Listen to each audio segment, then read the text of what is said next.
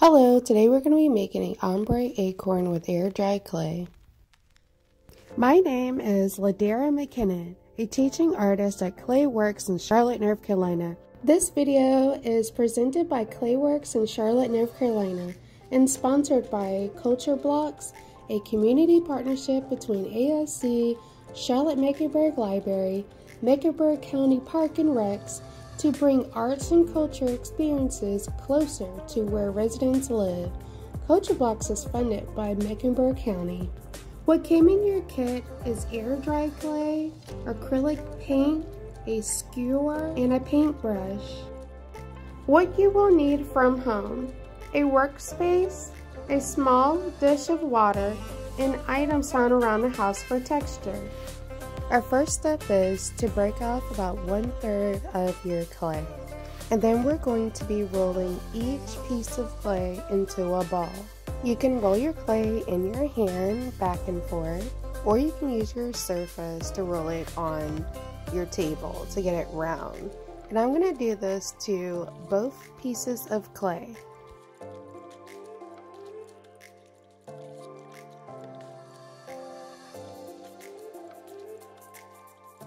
Since our balls of clay are rolled out, we're going to pull off just a small portion of clay from the larger ball for the stem for our acorn. And just roll that little piece of clay into a ball. And now we're going to start to make a pinch pot. Pinch pot, a technique of putting your thumb in a ball of clay and pinching from the bottom up to create an opening in your clay. We are going to start with the larger ball of clay you can reshape it how I did.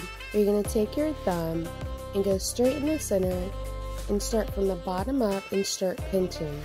When we pinch this pinch pot, we want to pull the clay upwards instead of going outwards to make it wider. We want this to be a little bit taller because acorns are a little bit more round.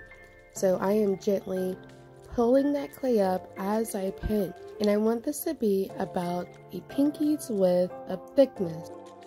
And it doesn't matter what the rim looks like right now because we're going to be covering up with the lid anyway. So just keep on pinching and I'm kind of smoothing as I go.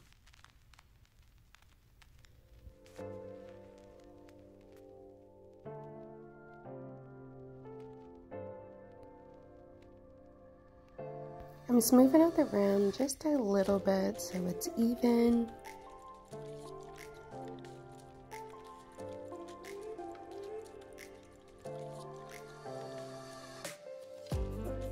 Alright, so the bottom of our acorn looks good. Now we're going to work on the top of the acorn that's going to cup on top of it. When we pinch this pinch pot, we want this to be wider because we want this to overlap on top of the bottom of the acorn. So when I press this one, I'm really pressing that clay outward so it gets wider.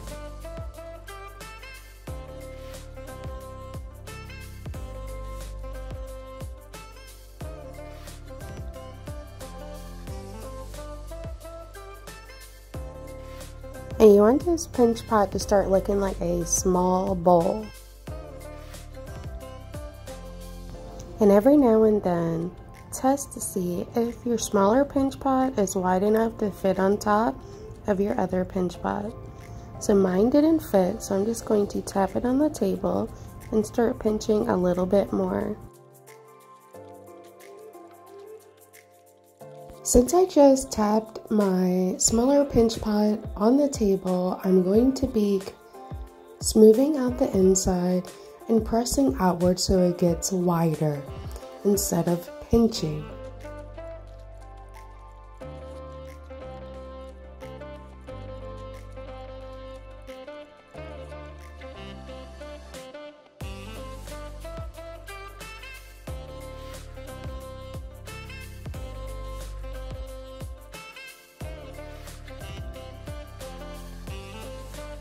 And I'm going to test and see if the lid of my acorn fits on top, and it does. So now I'm just going to attach it by squeezing it together. I'm not going to slip and score it together. Score and slip. Score, the process of incising surface of wet or leather hard clay in a cross-hatching pattern before applying slip and adjoining clay. Slip is watered down clay used for joining clay together. For this project we are using water. A lot of water that I just used to smooth it out. So that's really like a slip that is going to attach them.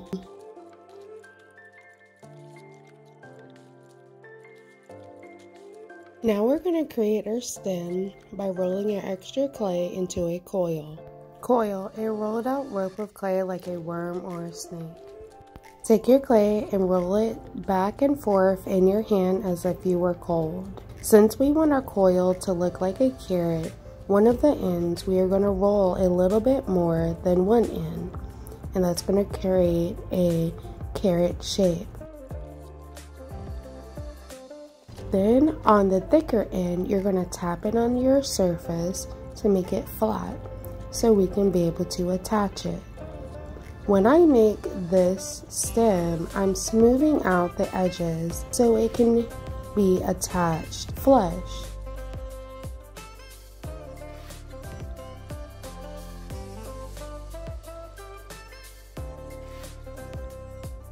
So now I'm going to score using my cross hatching on the top of my acorn and the stem and then tap on a little bit of water. When I attach this, I'm going to wiggle it back and forth just a little so I know it's attached. Then you can gently pull it to see if it will come off. If not, you're good to go. You're going to just smooth out any imperfections on your stem where you just attached or any of the pinch pots that we just attached as well. This is also a great time to reshape your acorn by rolling it on its side to give it more of a pointy edge if you want. And then we're going to let this dry for about 24 hours before we paint it. We are going to be painting our acorn in ombre palette. That means that our acorn is going to be dark to light and we're going to be blending those colors. I want mine to go from yellow, orange to burgundy. I'm just mixing up an orange that I like and you can mix up any colors that you like as well. Yours can also be different blues that go dark to light as well. I have my colors mixed up. We're going to start with our lightest color first. And I'm just putting yellow all over about one third of my acorn.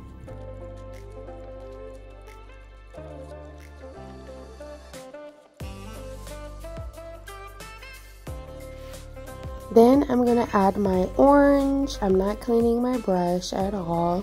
And this is your medium color. And we're going to do that about one third as well. You can start to overlap on top of the yellow just a little bit. Now that I have my medium tone color, I'm going to go ahead and add my burgundy. And I'm overlapping on top of my orange. And that's going to start to blend just a little bit.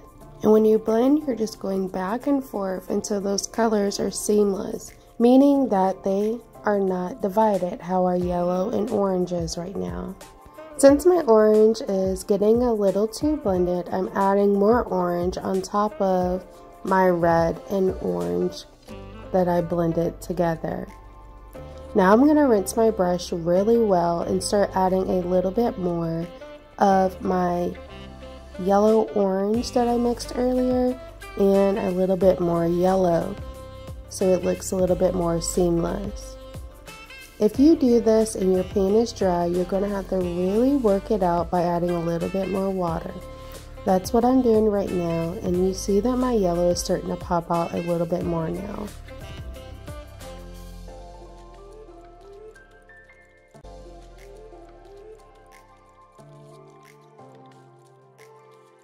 Now I'm going to add a little bit more of just plain yellow to make my colors a little bit more vibrant.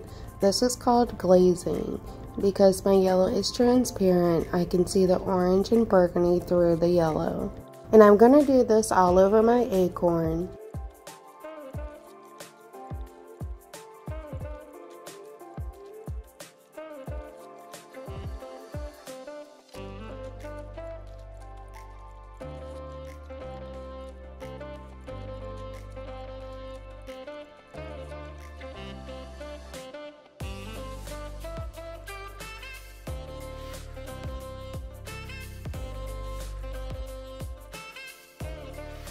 I have a little bit of orange that is out of the palette.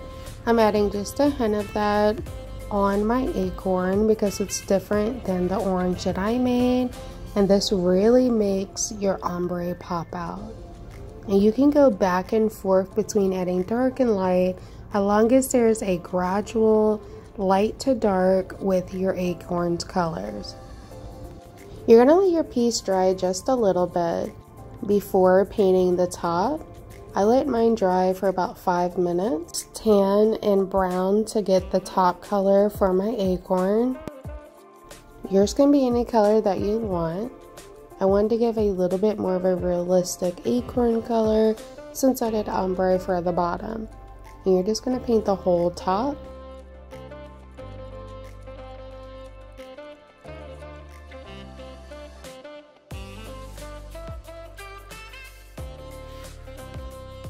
Now that the top has dried, I'm going to add yellow all over the bottom. This is going to make the colors look very vibrant.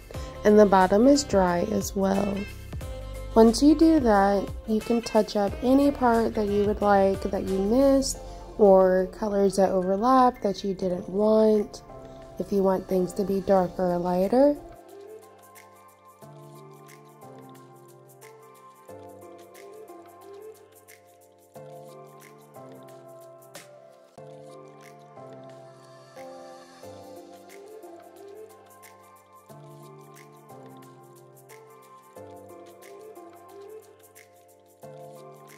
And there you have it, an ombre acorn. I hope you enjoyed this video and thank you for watching. And thank you to our partners.